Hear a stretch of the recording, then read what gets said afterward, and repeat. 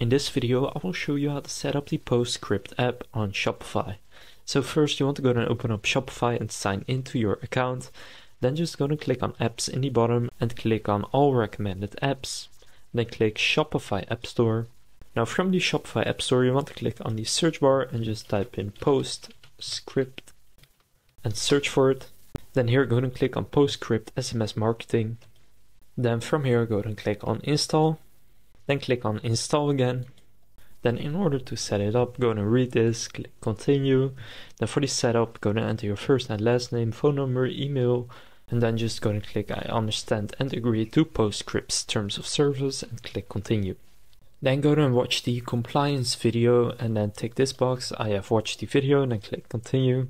Now here you need to add this to your Shopify's terms of service. So go and copy this and add it to your terms of service page. So just click copy, then go to Shopify, click on your online store. Then here go and click on pages.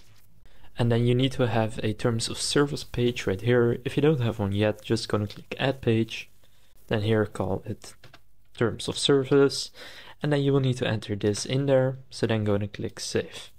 So after doing that, go and take this and click continue.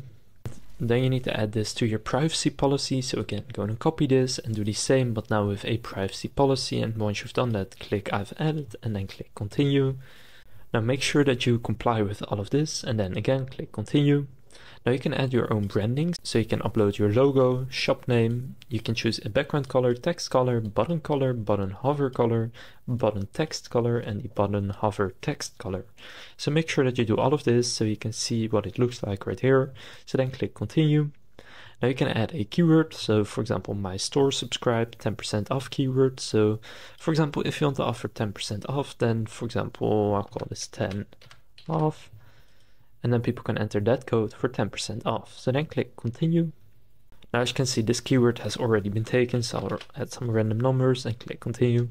Now you can start with recommended automations. So you have a welcome automation, browse abandonment, abandoned cart, shipping notification, loyalty and product back in stock. Now I recommend just using all of these, at least that's what I'll do and then click continue. Now you can start building your SMS list so you can show a mobile pop-up where people can enter their mobile phone number for a discount. You can do the same for desktop and checkout, then click continue. And now here you have successfully set this up. So now you can see the conversions and stuff like that.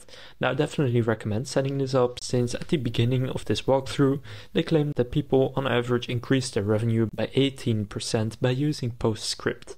So then after you have completely set this up, people will now get a not notification where they can enter their phone number to get a discount and you can then send reminders and automations to them and you can also send custom stuff if you want to. So now you know how to set up PostScript on Shopify. If this video was helpful, please consider leaving a like and subscribing to my channel. With that being said, I will see you in the next